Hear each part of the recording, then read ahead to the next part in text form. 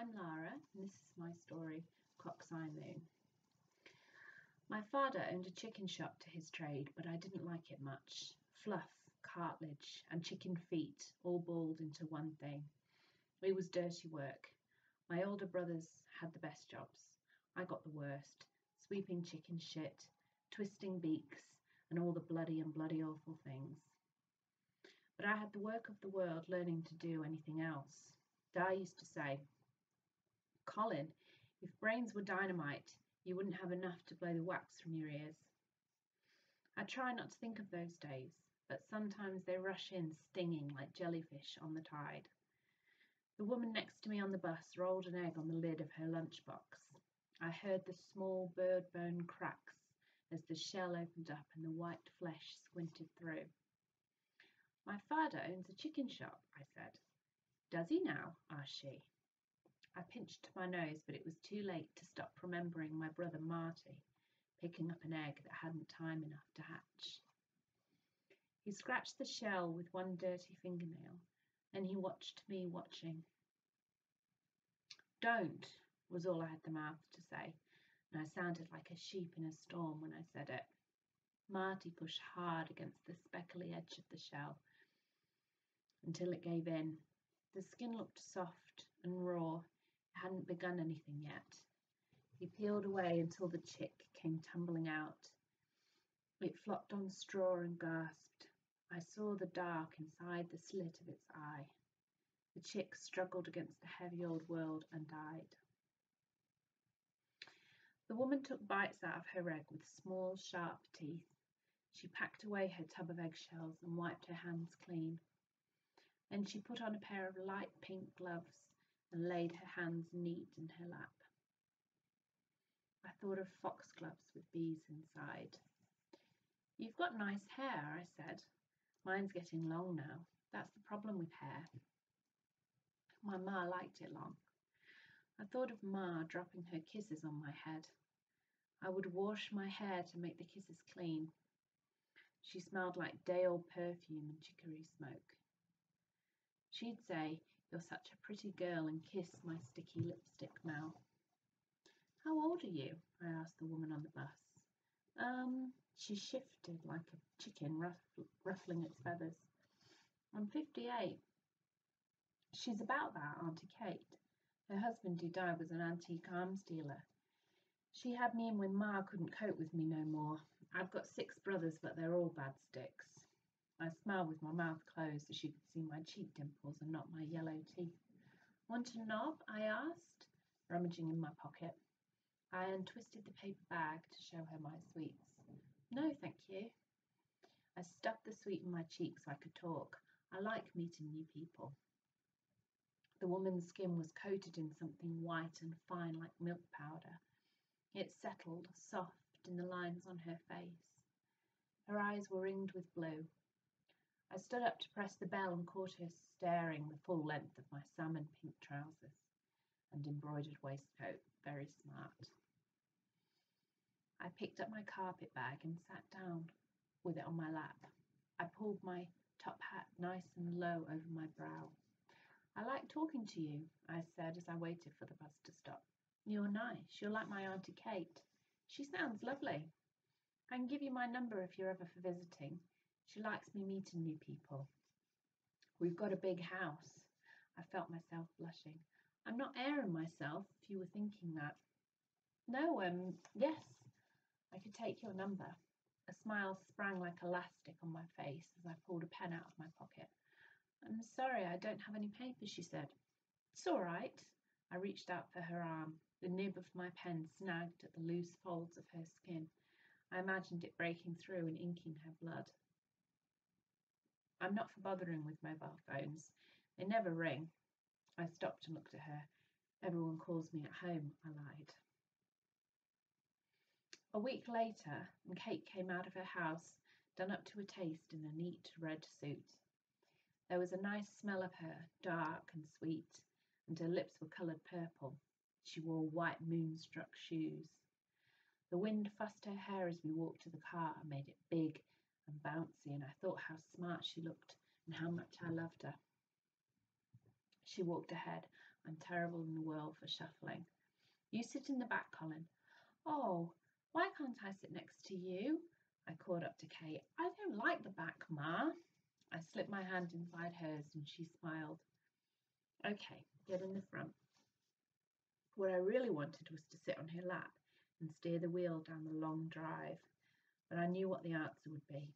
There were more rules after I turned 18. I wasn't allowed to sit on her lap or kiss her on the lips. I had to make my own sandwiches and tend the garden because I had the work of the world learning to do anything else. Her cherry wine was the only good thing about being 18. Kate opened the car door and paused. You have to promise me, Colin, not to do what you are not allowed to do. I won't, I promise. I folded myself into the seat, and when Kate wasn't looking, I smushed my face into the window. I pressed my lips into the glass, then my tongue. My mouth made an ugly slug against the glass. Seat belt, Kate said. I jumped back and wiped the glass with my sleeve. Kate didn't like me licking windows, but that was not the thing I was not allowed to do. Peel Market stank of dirty fish. I knew the smell would get into my clothes and underneath and everywhere. I felt a million dead fish eyes staring at me, turning my thoughts grey. I thought of a girl at my school who once ate a fish eye like a skittle. Then I thought of another girl. Her name was Cherry. I didn't want to remember Cherry. She used to brush my hair with her fingers. She liked soft things. She kept a teddy bear in her pocket. Pretty girl, she said to me once. She made me remember something that I was and wasn't meant to be. I lifted the pencil in my hand and brought it down on her and I made a sound like a gull cry that cuts the morning. Her eyes shimmered under cold classroom lights. The silence crumbled into tears like sherbet on my tongue. Kate got her Manx kippers and cold crab meat. She chatted to the fishmongers using her sugar voice. That vexed me. My head ached from the smell of the fish, and my velveteen dungarees itched like a skin that couldn't work loose. Driving home, I threw my ice cream out of the window. Kate asked me why I was cross and I made the grunting noise she hates. I couldn't keep still in my seat and it was boring in the car. Kate sat straight up in her seat, her nose almost to the window. There was a silver thaw on the roads and she drove slowly. She puts a big mouth on me not being able to drive yet. She's frightened out of driving and only does it because her husband is dead. Next to my feet there was a lever. My feet brushed against it, teasing her. This lever opened the bonnet, but it was in the footwell on my side and not hers. Kate grumbled about that. I had a habit of pulling the lever. I knew I was definitely not allowed to pull the lever. Kate said it was dangerous, so I tried not to look at the lever. I tried to ignore the squirming feeling in my tummy and the voice that seemed to say, Levers are there to be pulled. We were driving at full git when I tucked my breath into my mouth and lurched forward and pulled the lever. The bumper flew open like a fish on a hook. The flat metal struck the window, and Kate made a gaspy noise. And her foot pressed the brake to stop us spinning. The road was slippy as all get out. Kate's hand pinned itself to my chest like a bird in a gust. She held her hand there. Then the world did one big upside down, and the touch, the pressing down touch of the flat of her hand, was what I last felt. Don't move. I opened my eyes to see a big fireman's jacket with a man inside. Cramped I was, with the world the wrong way up, or else I was the wrong way up in the world. I opened my eyes and stared at him. I tried to turn my head to see Kate. Kate would know what to do. Look at me, he said. Just look at me, son. It was a kindly voice. I liked that this man called me son. He didn't seem to mind that I had pissed myself, and I liked that. In the hospital, everyone knew what to do about me, how to glue the broken bits and wash the bleedy bits. Later on, the police said it was an accident, and since it had been said so often, I got to believe it too. The lever was a separate thing, and they shouldn't make cars with levers on the passenger side, and there was a silver thaw that made the wheels spin even though Kate tried to make it stop. I came home to the big empty house. It smelled sweetly like Kate. She allus knew what to say, and now there was only quiet. The house got dirty and furry, and I got bored of eating cereal. It was hard remembering to wash and clean clothes and brush my teeth and take the yellow tablets. Kate made everything easy, but she was dead, and I did not like anything about that. It was said that every chicken eaten on the Isle of Man, from Cregneash to Cranstal, and from Peel to Douglas, was slaughtered, scalded, plucked, and peeled in one of my father's chicken shops. I hadn't seen my father in five years, and I hadn't eaten any of his fucking chickens neither. So it was a shock to me when he came round to see me all of a slap. He stood on the step in his big coat, with his white breaths puffing out of him like a steam engine. Let me in here, Colin. There's talk of dirt coming. He looked up at the sky and the dark clouds rolling in. Come in through. He strode in and sat down, knees spread, frowning at the kitchen table. He flicked a dead fly off onto the floor. How are you then? Dar asked. Still a bit sore. Really?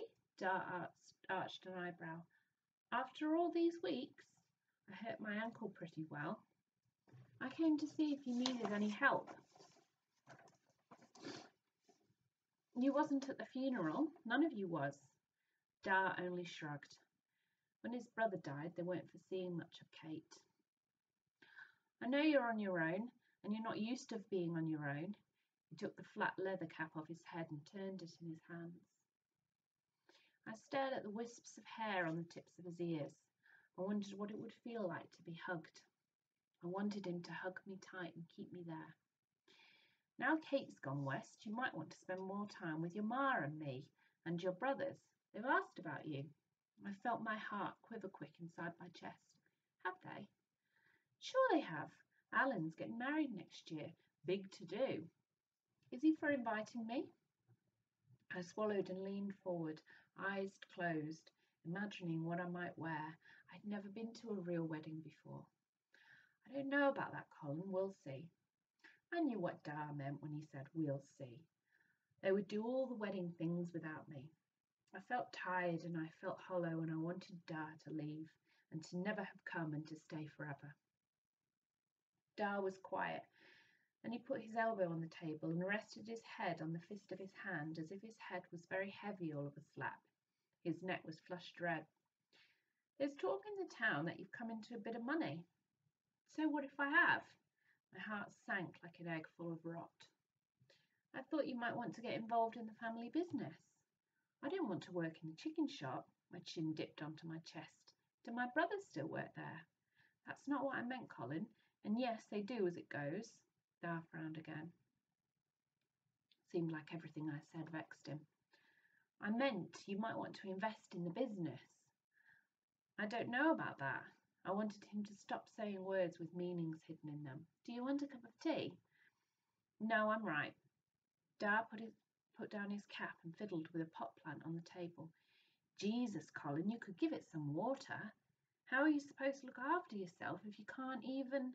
Dar sighed and stroked his temples. And when is the last time you had a wash?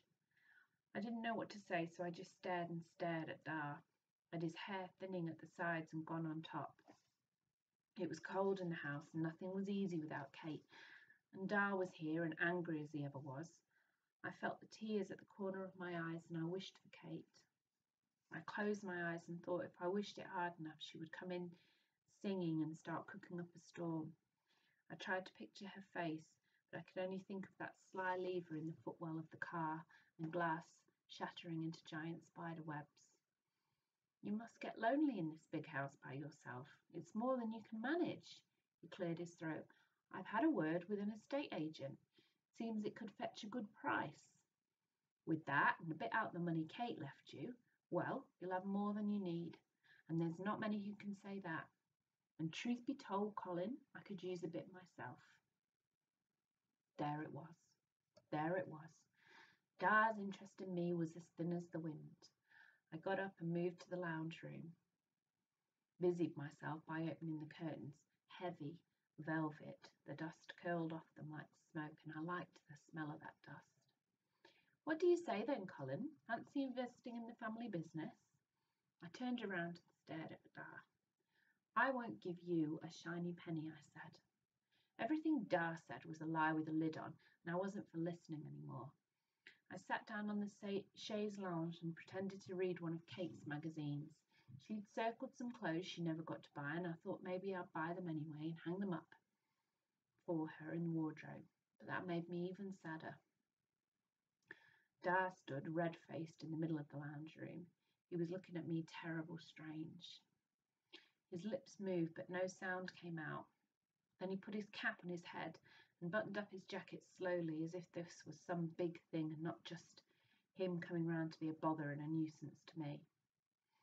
He nodded once, as if a forever matter had been settled between us, and looked me up and down and made me glad I was wearing nice clothes, new silk pyjamas, crimson. You know, Colin, the higher a monkey climbs, the more it shows its arse.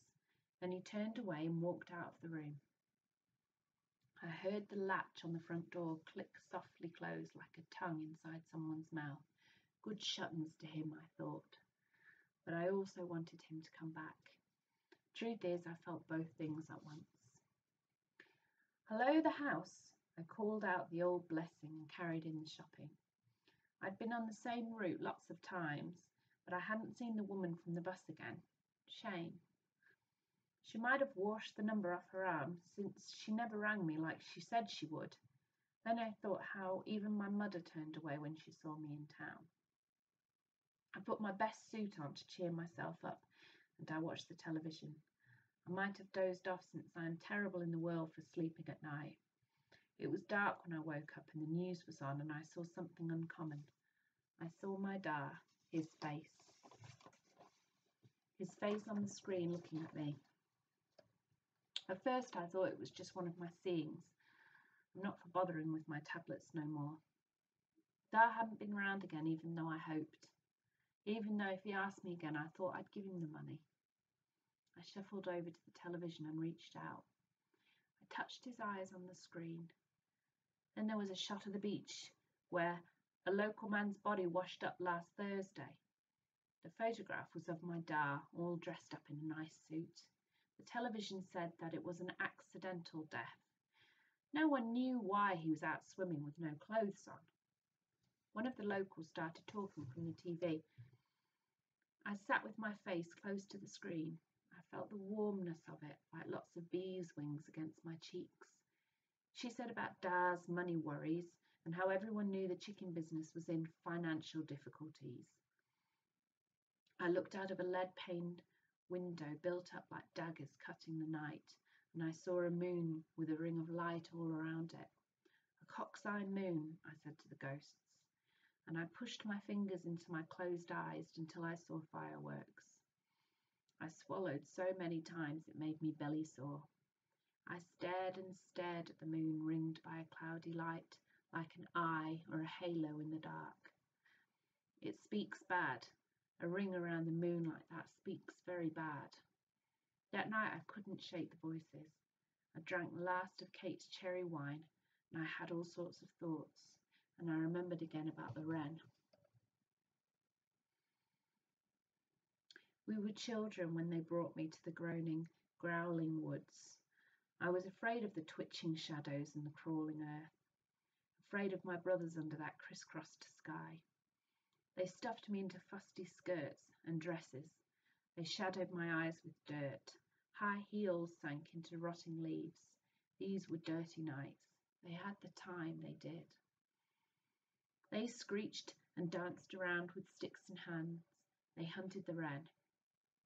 They beat the bushes with their sticks to hunt the wren. They whooped and hollered, having fun tremendous. They chased me through the woods, and when I fell under their feet, and hands they sang a new song. I see him, I see him, said Robin to Bobbin. How shall we get him? said Robin to Bobbin. With sticks and stones, says Robin to Bobbin. He is dead, he is dead, says Robin to Bobbin. When my brothers caught a brown wren, they did the last of him with thorns. The body was stuck up on a long stick and jeered at. They laughed all the way through. They made me flap my arms. They made me wish I was a wren. It was all over by then for the wren, but not over for me. The chicken shop looks the same as when I saw it last. The blood smell tangs the air. The killing box is where they do the last of the chickens. I swallow my heart and step into the forecourt. Three brothers are wearing black overalls and boots to the knee to hide the blood. One has a bag of pellets. Two carry tubs of bloody mess. The clouds are blanched like chicken skin, and the moon last night was a sign. My brothers stop to stare at me, but it's too late. I lift the antique gun to my shoulder and I aim, and the men tilt and fall as if the world has knocked them off its back. There's smoke in the air, the vibrations linger in the barrel of the gun, a burnt treacle smell, and there's blood on the ground. I stare at the collapsed paper faces of these men. Dead men must all look alike because I have to look again before I recognise my brothers Ivor and Alan who whipped me with sticks. This one is Thomas, one of a twin, though neither one of them mended the other. Marty comes out from the chicken shed and falls next. He is dead, I thought. He is dead, like sticks and stones and little brown wrens. Three more brothers bunch together in the doorway, and their limbs flail against the flaking wood when the gun lays them stretched. I go close and turn them over with my hands, not rough.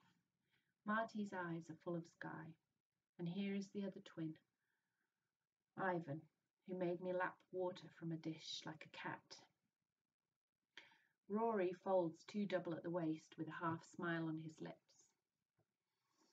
I step over the bodies and into the chicken shed. The birds are fat, squashed together in rows. I can't put a mouth to it, but the chickens tell me what to do. Da's office overlooks the sore, dusty, nasty world of the pent up chickens, but there is no one in there who can see or stop me as I open the cages up. There is a crooning noise that sounds terrible strange until I realise it comes from me. I close my mouth. A loud noise streaks the air blue. It gets closer. I hear them call my name, but the world, the, but the word sounds so big I am startled alive by it. It's as if they're calling to me from another world. The voice is loud and it is calming like the fireman. I step over the bodies. The gun clatters from my hand and I am outside. And they are pushing my face into the chicken shit cement and they hold me there. Lying like this, I can see the length of myself. I see that I'm wearing Kate's dress, which was long on her but bunches up at my ankles. My hair pillows like feather down against my cheeks. A smile bubbles on my lips and grows until it splits them open. Then a giggle, a laugh that is outside the breaking shell of my body. Thank you.